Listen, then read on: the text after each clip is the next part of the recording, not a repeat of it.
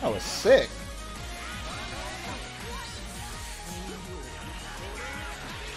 Bro, I, if I would have punished that, that would have been so sick.